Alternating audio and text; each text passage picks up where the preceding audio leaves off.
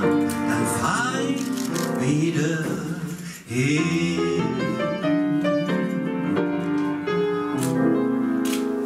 Denn ich hab noch einen Koffer in Berlin.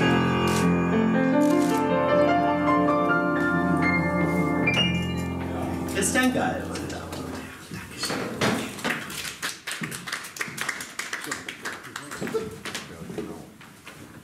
Damit Sie auch so ein bisschen einen Eindruck bekommen, was eigentlich so in der ganzen Show passiert bei mir, da ich ähm, die Dietrich wirklich versuche, in allen Lebenslagen zu spielen, was ich auch wirklich wichtig finde, denn ähm, ich bin mittlerweile natürlich schon in einem Alter, wo man auch Menschen kennenlernt, die die Marlene nicht mehr kennen.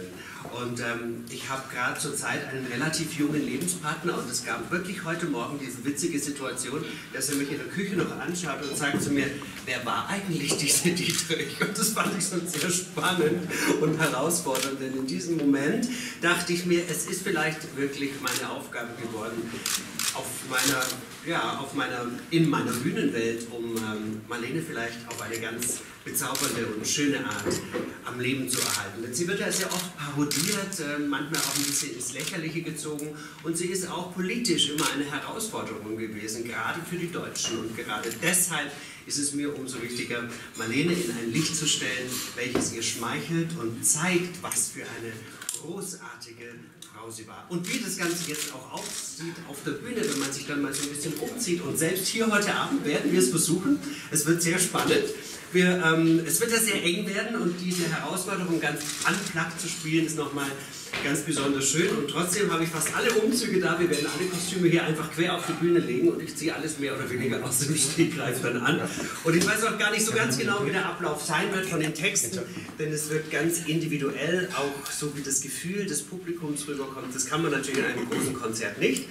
Aber deshalb spiele ich es auch gerne einmal hier. Und wenn wir dann ähm, auf der großen Bühne stehen im Karl-Orff-Saal mit ähm, einem großen Orchester unter der musikalischen Leitung von Christian Gall, der mich schon ganz, ganz viele Jahre immer wieder begleitet, ähm, dann wird es natürlich nochmal eine ganz andere Dimension haben, zumal wir dort auch wirklich äh, mit den Originalzuspielern arbeiten von Marlene.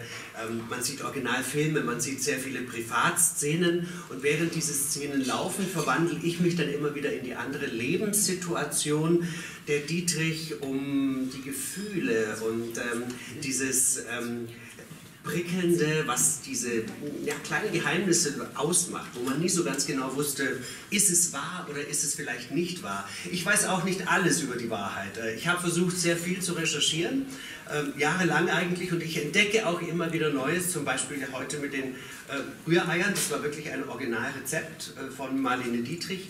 Und äh, die gab es wirklich nur, wenn sie einen Liebhaber eingeladen hatte zum Frühstück. Ähm, den gab es prinzipiell nie danach. Also die Eier, den gab es immer erstmal zuvor. Und äh, sie hat ihn dann getestet, wie er die Eier verschlang, ob das gierig war oder wenn er sie gar verschmähte, dann wurde derjenige also sogar aus dem Freundeskreis ausgestoßen. Also da war sie dann auch schon etwas eigen. Und solche vielen kleinen Geschichten gibt es über die Dietrich, die sehr amüsant sind und ähm, die gar nicht unbedingt was mit Geschichte zu tun haben, sondern einfach mit einem Leben, wie es heute gar nicht mehr stattfindet. Und äh, meine Aufgabe ist es wirklich geworden, dieses Leben dieser Frau so ein bisschen wach zu erhalten. Ich hoffe, Sie haben viel Spaß dabei. Okay, dann gehen wir mal. Okay.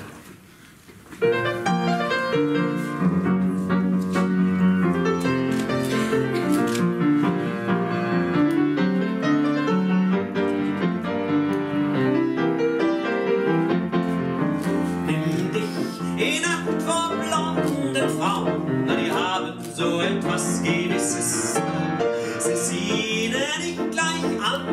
anzuschauen, aber irgendetwas ist es.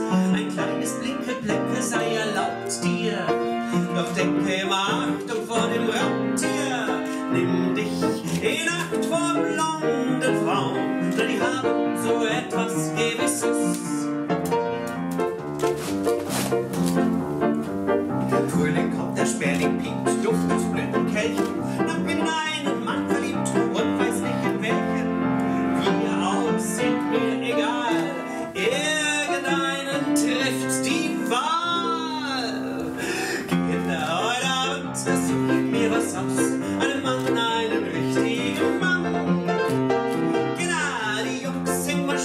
Reise erst einmal einen richtigen Mann. Einen Mann, dem das Herz voller Liebe blüht. Einen Mann, dem das Feuer aus den Augen sprüht. Kurz einen Mann, der noch küssen will und kann. Einen Mann, einen richtigen Mann.